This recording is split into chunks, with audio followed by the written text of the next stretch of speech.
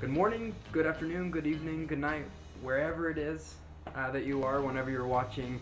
Uh, thank you for tuning in.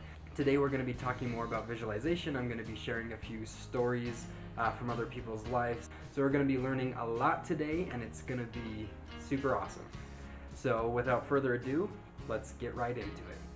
I know I said it in my last video, but visualization is one of the keys to having the life that you've always wanted. It's one of the keys to achieving anything that you want. And it's, it's pretty incredible. Once you start to, to visualize and, and see what happens because of that, uh, your life is going to be able to, to start to change and you're going to see it happen.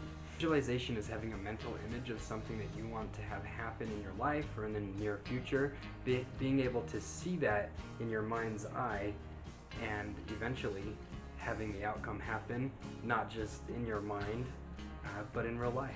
Visualization, mindfulness, uh, the intention to create, whatever you want to call it, it wasn't always that big of a deal back in the day. And in fact, it was really weird for a lot of athletes to hear uh, when you start talking about that mindfulness or visualization. But it's gone to the point today that you would be hard pressed to find a professional athlete that doesn't visualize and doesn't understand how to do it. I know 1960 Billie Jean King uh, was one of the first that I heard of that started to visualize Billie Jean, Billie Jean King, the tennis player.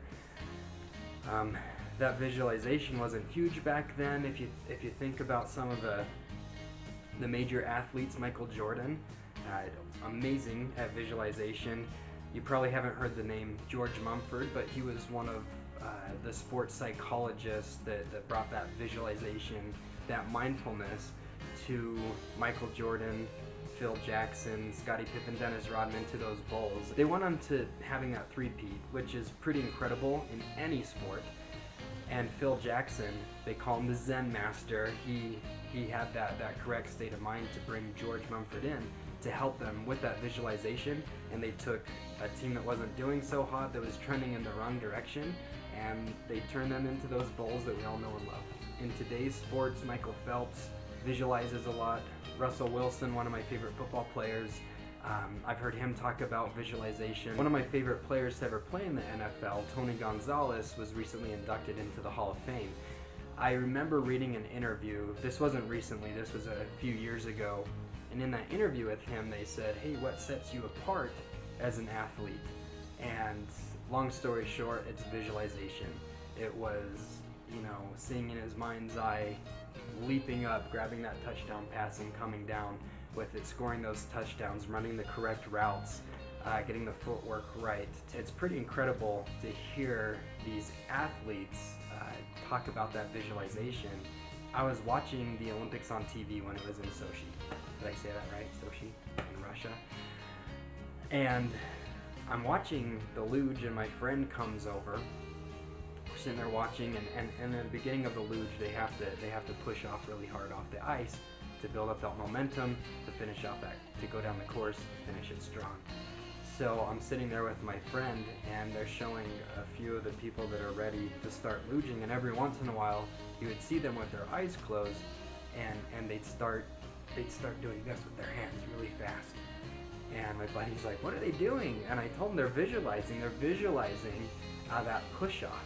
And then after they visualize that push off with their eyes closed, you start to see them, you know, sway whichever way to get ready to, to go in and out of those turns. And, and they're, they're visualizing before one of the biggest moments of their lives. So athletes do it, celebrities do it. Uh, a really cool story about Jim Carrey is he wrote himself a check for $10 million. Uh, he was dirt broke. He used to go up onto Mulholland Drive, overlook the city, and he used to visualize getting roles. And he used to visualize acting. And I'm going to put a, a video description to Fearless Soul that takes some of his audio, puts some music to it, makes a nice little video about some of these quotes that Jim Jim Carrey has and what he's talked about. He is one of the masters at visualizing and it's pretty incredible to see where he came from and where he's at today. And there's countless you know celebrities athletes success stories of people that had nothing and because of visualization uh, they, are, they were able to create something out of themselves. Uh, the cool one with Jim Carrey is, you know, dirt poor. He wrote himself a check for $10 million, I believe, and he dated it a few years down the road uh, for November of 1995. So he writes himself out that $10 million check, he keeps it in his wallet, he takes it everywhere he goes, and in 1995, you know, two, three, four years later, he'll tell you in the video, um, he ends up cashing that check because that's how much he made when he was casted in Dumb and Dumber. One of the things that Jim Carrey talks about with visualization is you can't just visualize and then sit down and eat a sandwich and expect all these amazing things to happen to you. You still have to have hard work. Um, getting your subconscious mind right, visualizing, and hard work are the three most important things uh, that you can be doing uh, to create create the life that you've always wanted to. Another great story about visualization comes from Tony Robbins. Um, he was at one of his seminars. He was having people write down the amount of money that they want to make and, and by when. And so he's talking to these people, and there was this young lady who says, "Well, I want to I want to make X amount of dollars, uh, and I want to make that in I think it was seven weeks or something like that. Don't quote me on this story, but she wanted to make that money. Um, so, you know, he he could have been like, well, you know, you've never made that much before, and you're only giving yourself this short amount of time to do it. So maybe let's cut back on that goal. Is is some of the things he wanted to talk to her about. Uh, but she was so excited about this goal and she started visualizing it and she started believing it. I think it was $170,000. And on the day that she had written, seven or so weeks later, she won the lottery for $170,000. This incredible thing happened. She lets Tony Robbins know, and of course, in seminars later, he's sharing this story. Um, what he doesn't want people to take out of this story is, oh, I just need to visualize and I don't need to do anything. Life will be great. Um, still have to work, but he's telling this story, and this older couple gets just that out of it. Well, if she can win the lottery, I can win the lottery. Start visualizing it. They write it down. They start telling everybody they know that, hey, we won the lottery. But people realized they hadn't actually won the lottery and they just thought they were crazy. They started living their lives as if it already happened. And guess what? Not once, not twice, but three times the charm, they won the lottery. I don't know how much the lottery was for, but it was over a million dollars. I'm sharing these stories to show you what can happen, not to tell you that you don't have to have work involved. But your mind is, is truly that powerful.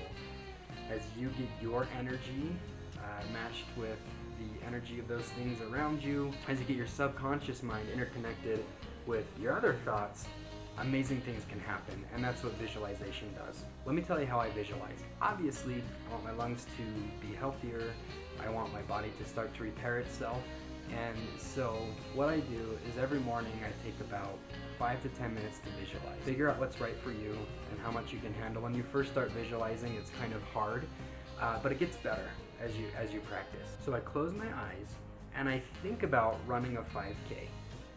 I'm there, I'm, I'm running through the mountains. As I'm running, I can feel my heart beating. Um, I can hear and feel, you know, my, my feet hitting the ground one after another. The birds are chirping, the wind is blowing in the trees, and I'm focusing on my breathing. And I'm breathing in and I'm breathing out, and there's no pain involved with that. My lung doesn't hurt, I'm able to get all the oxygen I need. I'm not out of breath, and I look down and I look at my tracker, and I've I've ran three miles. Okay, so I'm I'm towards the end of my 5K, and I'm just happy. I'm healthy. I'm able to breathe, and not only do you visualize, okay, the, the sweat that's coming, the breath that you're taking, those things around you. So you're also trying to visualize all of the senses, but then you have to visualize how you feel. You have to feel the emotions coming in because I'm happy.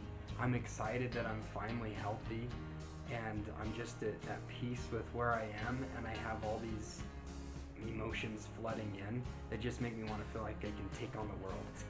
Visualizing as much detail as you can but then also allowing yourself to feel that feeling of what that's going to be like. Some of the other visualizations that I do is, is just playing outside with my family, uh, seeing my wife playing with the kids, uh, wrestling around, jumping on the trampoline, uh, seeing them just having fun, being happy, and being cute like they always are. So those are the things I visualize, and again, great detail. Allow yourself to feel that emotion. Stay tuned. I'm going to put a link to another video, or it, find it on my channel, um, of a visualization activity. A lot of people think that they can't visualize, but I, I absolutely know you can. It just, again, takes practice for some of us. So I'm going to put a link to a visualization activity uh, that you guys can do. You maybe have done it before, but it's really cool. We'll do that activity, talk about that a little bit. Uh, but thank you so much for, for tuning in, and I'll see you soon.